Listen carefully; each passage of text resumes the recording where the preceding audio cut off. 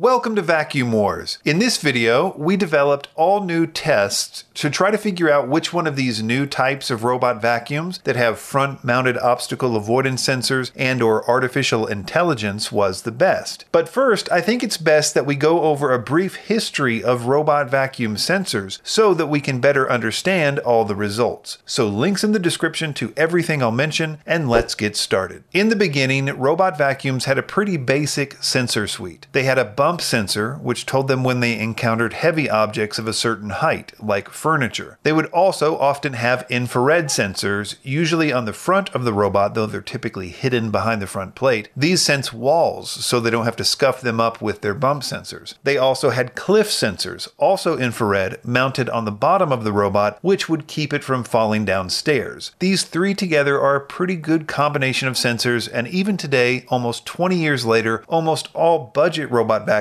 use this same setup. Around 2015, premium robot vacuums started showing up with either a top mounted camera system called V-SLAM or a top mounted spinning laser called LiDAR. These new sensors allowed robots to create a map of your house so that they could navigate in a systematic, precise way instead of the more or less random way that they navigated before this. This was a big deal, and today any robot vacuum over a certain price will probably have either a V-SLAM or LiDAR system system for its so called smart navigation. Despite all these new sensors, all robot vacuums were still blind to certain kinds of objects in their path. Objects that were too low for their LiDAR or infrared sensors to detect, or too light for its bump sensors to detect. For example, you can see in these night vision shots that LiDAR sensors typically scan about 4 inches off the floor with a horizontal line, so anything below that line is essentially invisible. Or if they had V-SLAM the cameras are either pointed directly at the ceiling or at the ceiling but at an angle, so no help for low objects there either. About two years ago, robot vacuums started showing up with new sensors on the front of the robot. Typically, at least one camera would be involved. The idea is that the robot could now see the objects in front of them and avoid them. They would be programmed from the factory with a library of objects to avoid. For instance, iRobot made a huge number of models of pet waste to upload to their J 7. This image library can be updated with new objects with various firmware updates. Many companies also suggest that their robots can learn about new objects on their own with their AI. Some companies tried two cameras to give it more depth perception. Some added lasers, usually on the sides of the camera and crossed just in front of the robot, that are oriented vertically, as you can see in these images. Recently, things like structured light sensors have been added to give it the ability to see in 3D. At this point, just about every manufacturer does obstacle avoidance a bit differently if they do it at all. In the past two years, Vacuum Wars has reviewed about 10 or so of these AI obstacle avoidance robot vacuums, and we developed some very basic tests, but I could never really gauge how much better or worse one of them was over another, mostly because they all seemed to be kind of hit or miss. Sometimes they avoided an object perfectly, and sometimes it didn't.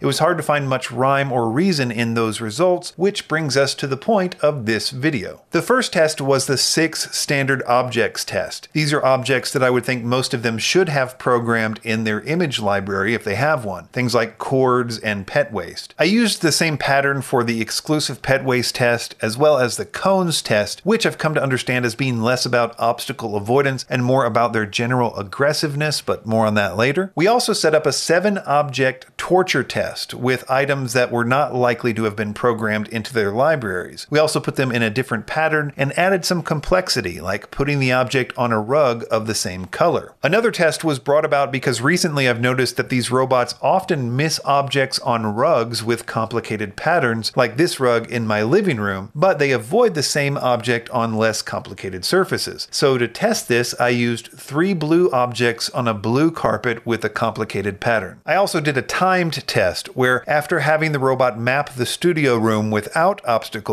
I ran it with three new obstacles and noted how quickly it finished its cleaning job. Basically, it was a way to determine their route efficiency while avoiding obstacles. With the six objects test, the Samsung JetBot AI and the Roborock S7 Max V tied for first place with a perfect score, with the Roomba J7 coming in second. With the novelty pet waste test, there were a lot more perfect scores, but it's one area where the robots without a camera and only lasers did not do well, like the DreameBot Z10 10 and the Shark. With the blue obstacle test, the Samsung JetBot AI and the Roomba J7 got perfect scores, whereas the Roborock S7 Max V and the Ecovacs T8 AIVI tied for second place. One of the hardest tests was the torture test, where there were no perfect scores, but the Samsung JetBot AI got the closest, followed by the Roborock S7 Max V, the DreameBot Z10, and the Roomba J7. With a timed test, I found that the Ecovacs products were on average much faster than the competition, with the Ecovacs Omni leading the way. So, which one of these has the best obstacle avoidance system based on all this criteria? The answer is the Samsung JetBot AI, followed by the Roborock S7 Max V and the Roomba J7 in third place. But that's not the whole story, because there is much more to a robot vacuum than just this one feature. And while the Samsung JetBot AI clearly had the best AI obstacle avoidance, it did score the lowest in our general performance tests, and it doesn't have great reviews online either. So I took some basic criteria like their price, their scores on things like the crevice pickup test and the carpet deep clean test. I took into account if they have certain key features like an auto empty dock or a mop attachment, and I gave them a score which I added to their obstacle avoidance scores to come up with my best overall and best budget pick. My best overall pick was the Roborock S7 Max V. It was always near the top with the obstacle avoidance